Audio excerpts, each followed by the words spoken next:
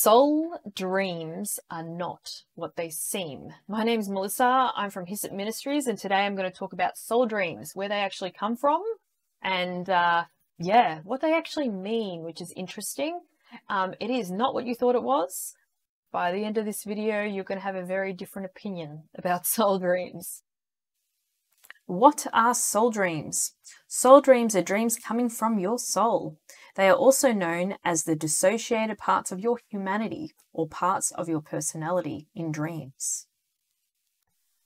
In the Strongs, that actual word of um, soul means nefesh in Hebrew, which is a soul, a living being, a life, a self, person, desire, passion, appetite, and emotion.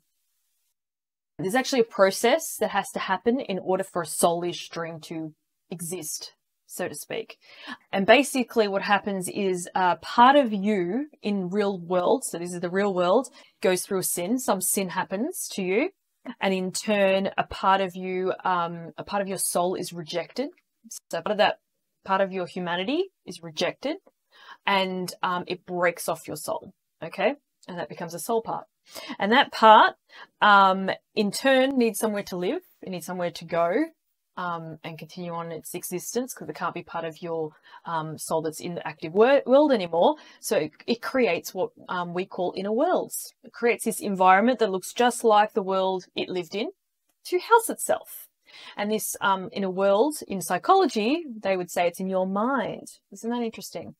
Um, but yeah, and this inner world will look just like where it came from. It will um, usually, uh, the soul parts, these soul parts that get disconnected like that usually happen in childhood. So they'll be like a little kid stuck in time in that world. So they might be stuck in your parents' house where you grew up or some location like that where this traumatic event happened where you rejected yourself. Basically, these soul parts try to communicate with you through dreams and visions. And so, what does this mean, or what does this look like? Basically, um, you got to think of yourself as okay, you were the original soul that you know rejected this little part of you, and they fragmented off. And so, what happens is that they want to talk to you and tell you what's going on in their inner world, especially if something bad's happening. Okay, something might be bad happening to them, and they want to tell you what's going on. So what they do is um is they give you a dream, they give you a vision. They say, "Hey, look at this bad thing. Look what's going on here. This is bad. This is dangerous." And this is where basically warning dreams come from. You ever had been someone who's been warned in a dream that something bad's going to happen? That's your soul parts talking to you. Okay, that's your soul parts dissociated, telling you, warning you that something bad's going to happen pretty cool when they do that. Um, yeah, so soul parts, what they do is um, you, the core of the soul, is the presenter or the core. Um, if you're somebody who doesn't have DID, you'll be both. Um, if you're somebody who does have DID, you could be just the presenter, okay? And that little dissociated part could be your core, but it usually isn't. It's usually just um, a soul part, which would be probably, you know, just a part of you from childhood that broke off. More commonly um, for people that just have dissociation. You've got to have more extreme versions for it to be um, a core part. And if they're really young, under the age of 12, which usually they are, the sin came in through generational iniquity. So it came in from an agreement on your bloodline that was never repented of, which caused this sin to occur. So, um, yeah, that's where this this soul part was basically created. This is you might hear this term when you listen to people talk about inner healing. They'll talk about the creation of the soul part, and even if you talk to the soul part, they might actually tell you that they were created um, during this event, and they're this old because that's when they were when they were rejected, when they were dissociated, when they, you know, had that stuff happen. Okay, so soul soul dreams are about your soul parts. And they're your soul parts um, living in their inner worlds, communicating with you, the core, the presenter, who is the person who goes to sleep, dreams about their soul part, wakes up in the morning and remembers the dream for a little bit, and then they forget it. In my experiences, soul parts always create the inner world, at least the base of the inner world, because they need somewhere to live. But the demons and the evil spirits connected to the sin that caused them to get stuck there will alter that world. They will change it into whatever they want. They will add things. They will put things there that are horrible. Um, sometimes they will, and how they do that is they convince the soul part to create these things, you know, to create this bad thing because, you know, that's like what happened to you. So let's create that so you can go through that over and over again. And sometimes it'll in the in the soul part's mind, it will think, oh, you know, maybe if I create that, I can um you know, what's the word? Fix that situation, fix the situation that happened to me that was really bad. Maybe I can resolve that issue and all this stuff. Um, but unfortunately, it just becomes horrible nightmares. It doesn't actually fix the issue because it's kind of like, you got to think of it as these soul parts of children. Little kids don't know how to handle some of this stuff. So oh, most kids do not know how to handle this stuff. So yeah, it's, it's very hard for them why do we create an inner world? It's actually got to do with um, uh, it's it's got a lot to do with this rejection issue. Like I was saying to before, how because we reject that part of ourselves, and you're probably wondering why. Why on earth would we reject ourselves? Um, and that has actually got to do with sin. Um, so the enemy's goal is to basically get us dissociated by causing um, a part of us to uh, take on this sin nature, whatever evil, horrible thing it is, to the point where it has to be rejected from the core of us, the main part of us, um, in order to uh, live in an inner world or be in this other environment to interact with these evil demons and all this other stuff. Because we weren't created to be like that. We weren't created to have covenants with demons. We weren't created to be involved in these sinful practices. So it seems to be as soon as you make these agreements, um, part of your humanity basically has to break off from you and um, do its thing, its evil thing, separate from the core of you. But that seems to be what always goes on. They always seem to always be disconnected. There's always some sort of rejection, and you need to fix that relationship. It's all about fixing the relationship again um, and breaking that sin agreement. As I said before, these inner worlds can look like a real place where the whatever traumatic event happened to them, whatever sin, horrible thing that happened to them, um, it can look just like that, identical.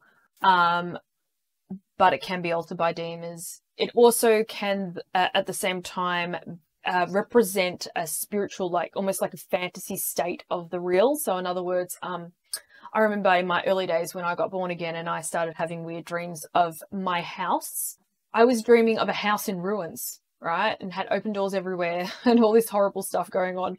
And I was just like, why am I living in this absolutely rundown house? And I had, and it was God showing me this house was a representation of me and all the sin doors I had opened that I hadn't repented for and how my home was literally in ruins because I had let the enemy come in and take everything and wreck everything and over my whole entire life of not repenting and changing my ways. And so this is an example of how in the real world, I don't live in a ruined house. I have doors and I have windows and I have all that stuff. But in, in when it comes to dreams and soul dreams, your souls will show you um, your spiritual atmosphere um, of the physical realm it lived in. So it was traumatized, obviously, somewhere in childhood, or a young age in this house, and now I was seeing it um, through the eyes of that kid in ruins because of whatever sin came in. The enemy came in stole everything, and now the house was a mess. Um, and um, basically, God is taking me on a mission now to get it all back and to re basically renovate their home which is me, my actual physical state, to what he created and intended me to be, which I've spent the last, you know, six something years working on that, praise God. Um, uh, some other little things that God tends to do with uh, like the house analogy, God's actually showing you where the doors are, where the sin is. I know for me, um, God showed me quite literally what this stuff was through repentance. I did a lot of repentance. I realized that didn't work. And I said, okay, God, what is that? and he would show me again some other sign and I'll go, wow, okay, I repent for that and close the door and I went, yes, got it.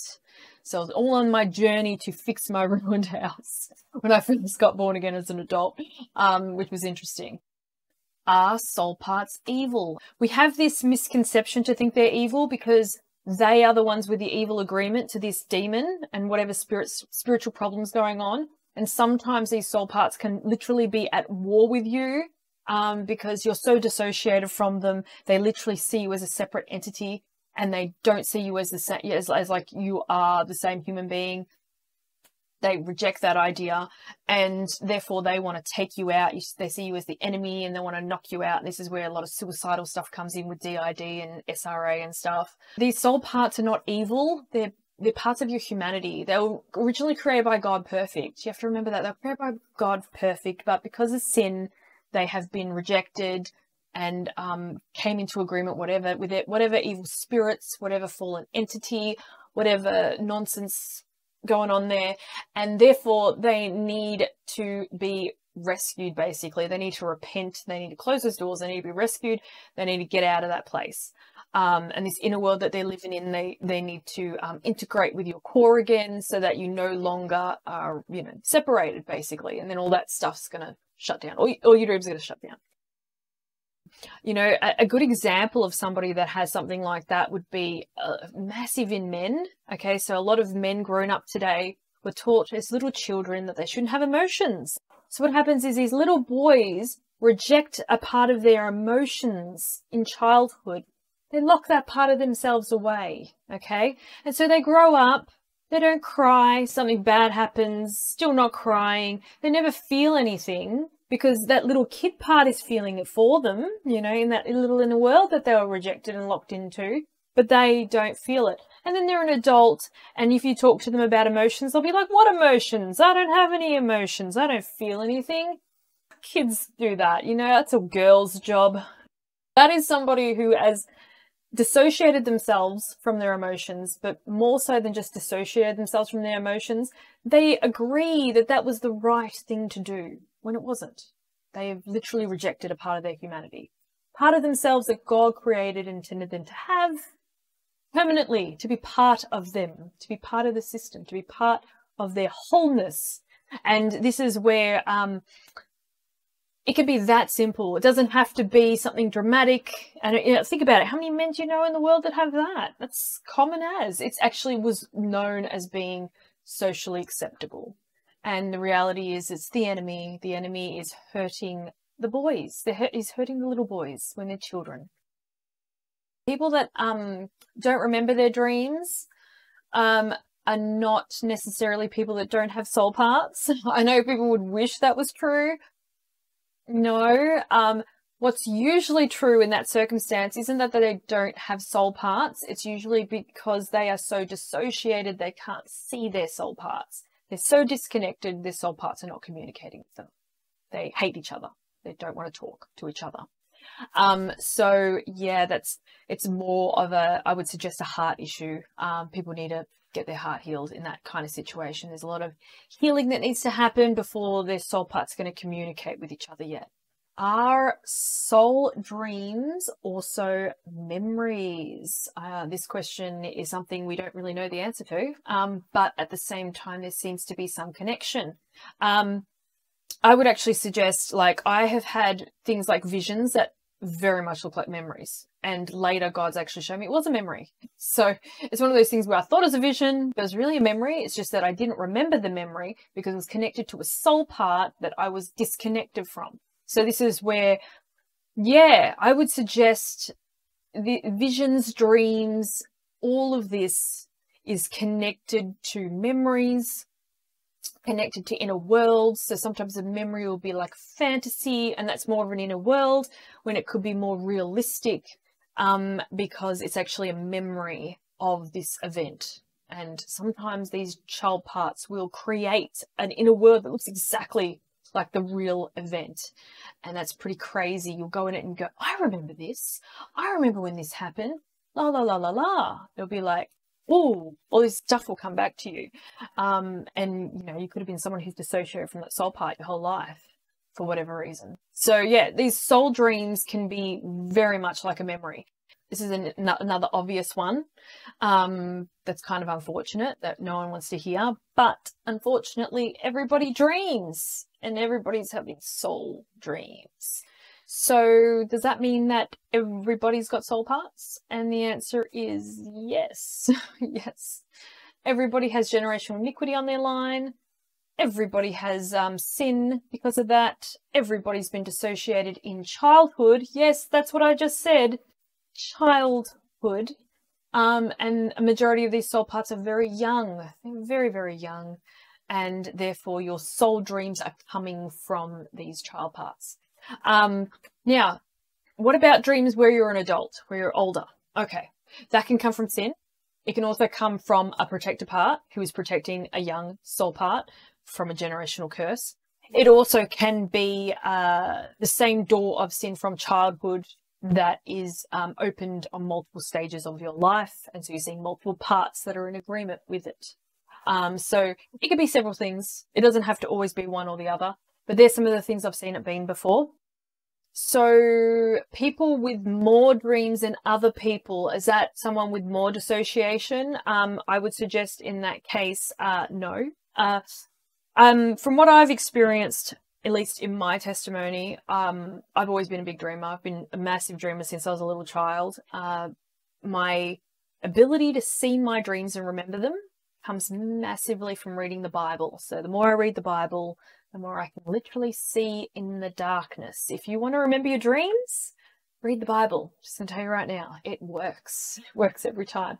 Um, so yeah, uh, I would suggest because when God actually puts his Holy Spirit in that location and um, shows um, what's going on basically in your inner worlds and what's going on inside of you spiritually um, through his his word I don't think that seeing your dreams is an evil thing. I would suggest it's coming from God. Um, I would suggest it actually comes from some sort of wholeness. Um, what do I mean by that? As in, for example, it seems to be the more you're dissociated, the less you're aware of what's going on. And when you're not as dissociated, you seem to be way more aware. Keep in mind though, um, if you're somebody with like DID, like, and you're switching into different um, identities, different personalities and stuff like that, different um, alters, soul parts, whatever you want to call them. Um, I call them parts. When they switch into different parts, um, they will they will remember all their dreams because they will live in that dream world. Okay, but if you switch to another soul part, they'll have no idea of the other person and their inner world and all the stuff they're going through. So, um, yeah, until you meet a protector or somebody who's more in a higher position, um, like a core part, then they'll be more aware of what's going on in the system as a global scale. Um, but, you know, again, that will depend on the relationship between the soul parts, whether they get along or whether they hate each other. If they hate each other, they're not going to know about each other. So, um, yeah, so really remembering your dreams comes massively, in my experiences, from more wholeness than brokenness. It's the other way around. If you're going to use the word wholeness and brokenness in terms of sin and dissociation. Can we stop soul dreams? Um, and the answer is yes, you can get your soul parts set free. That's what you can do. So you have to remember the whole the whole process of this was sin and rejecting of yourself. You rejected yourself. So the solution is guess what? Repentance and accepting yourself Interesting. Um, so yeah, this is where uh, a lot of therapists go into this. Um, they go into a lot of you know self acceptance and um, and they've got different names for it. Um, the Bible would call it unconditional love. You need to have unconditional love for yourself. Okay, no conditions. Love yourself the way God loves you, and it's and it's not in an ungodly way it's in a way where you are loving yourself for being God's creation, for being his child, for being, um, you know, all the wonderful things in the Bible he says you are. Okay. All those beautiful things. that, that is why you love yourself. You love yourself because God loves you. How do you shut down the realm? Shut down this inner world, this place that's created do you even need to shut it down? That's the next question. You'll notice that when you get to a stage with a soul part where they um, feel loved again, where they feel accepted again, where they've repented and they don't have this guilt anymore, they don't have this shame, they don't have whatever pain it is that is gone, um, they can sometimes just reintegrate themselves. So they don't need anything. They just they'll do it themselves, and all of a sudden that inner world will disappear, and um, the person will not dream about it anymore. It'll all stop. Okay. So in other words, what am I saying? These soul dreams can stop. A lot of people don't realize that. You, you don't have to keep having them for the rest of your life. Don't need to dream about your grandmother's house forever. You can actually shut that down. You can close those doors, you can close those sins, you can get those soul parts, the resolve they need, the healing they need to get out of there. You don't doesn't have to go on forever. Okay? Handy hint. You actually can make that stop. Um, which is amazing. It's really cool. You, you, the thing is that you, if they don't always integrate, sometimes they'll do it on their own. Sometimes they won't. Sometimes they'll need a helping hand. You need to ask them if they want to integrate. You can ask them why they don't want to integrate. What do they need to feel like they can? Um, you know, you, you, might have to, again, DID, if you're going to go into DID stuff, you're going to have to get the soul parts to communicate with each other. You're going to have to get them to become friends. You've got to figure out why such and such is upset with such and such. You need to get them all to come together. Think of them as separate people because they see themselves as separate and you need to get them all to come and hang out and, you know, hold hands again and love each other, you know, like they should. And that takes time, okay? It's not going to happen right away. Um, sometimes you're going to need a lot of work on that. Um, so, you know, do what you can when as you go. Just work on it. Just work on fixing that relationship. Work on um, bringing that wholeness to that little soul part. And then eventually that little soul part will feel totally happy to reintegrate. And if you say, hey, you want to integrate? And then ask Jesus to integrate you back together. And voila, done deal. And then you say, God, if you don't want the inner world to exist anymore, shut it down in the name of Yeshua. And he will. It will be gone. You know, you can pray that, but sometimes you don't have to. It really depends on um, kind of, you know, whether or not it's all kind of, you know, what's the word? The soul part won't need it anymore. So they'll just dissolve it, you know, they'll just, they'll shut it down themselves. They're like that. How many inner worlds can you have? And the answer is you'll have an inner world usually for every single soul part. So it really depends on how much dissociation you have, how much sin you have. The more sin in your life, the more inner worlds you're probably going to have. Um, keeping in mind that um, these soul parts can sometimes all live in the same inner world. So, um, and that's got to do with like maybe you've come into that sin agreement multiple times. So they're all living in the same world. Um, you can even see them in dreams as uh, walking into each other and becoming one person. That's really interesting. Um, yeah, and all this other stuff going on. Sometimes um, you could see them as separate entities to use in a dream. So when you start having weird dreams like that, that's that's a that's a, a sin that you've done multiple times over your bloodline, and um, going into things like generational iniquity and stuff to do with how that operates. Um, yeah, the the key with generational iniquity is the enemy tries to attack you in childhood and then later in adulthood to create um, that sin agreement. He needs to do it twice for the curse to continue on your bloodline and it's got to do with the fact that he comes in through the iniquity in childhood through your parents that didn't repent on their uh, on their behalf. And that doesn't mean that your parents have to do this. Um, it can come in through uh, somebody else who also has that same sin agreement, who's your teacher or some sort of caretaker or somebody like that, that attacks you with this same agreement in sin, open door to sin on their line, attacks you as a child, and then later as an adult, the enemy will come again and cause your soul part, that part of you, to re um, come in agreement to the sin so that the curse will continue. So this is where generational iniquity plays a huge role when it comes to soul parts, like young soul parts that is dissociated and which create these soul fragments, which in turn are our soul dreams. So yeah, this is really big. This is really huge generational iniquity is behind soul dreams. That's the most simple way of putting it. That is where they're coming from. They're coming from generational iniquity. Um, yeah, does that mean that um, soul dreams are not from God? Well, yeah, pretty much. No, they're not from God now. But keep in mind that doesn't mean that God can't come into your inner world and communicate with your soul parts. He's God. He can do that. He can do anything. Um, and to be honest, I've seen him do that. So yes, yes, he can do that. And he sometimes will. Um, but at the same time, uh, that doesn't mean that the dream comes from God. Uh, there's people out there that believe they do come from God. Unfortunately, that is not true. The dreams um, are actually coming from your soul parts. They're coming from your soul, parts of your soul that is dissociated. and usually young parts of you. So don't go to them for revelation. Um, they're not going to have revelation. They're going to be more clueless probably than you are because this happened to them as little children. So they have no idea what's going on. They're just basically operating in a system that God created um, for our human bodies to survive traumatic events. Okay.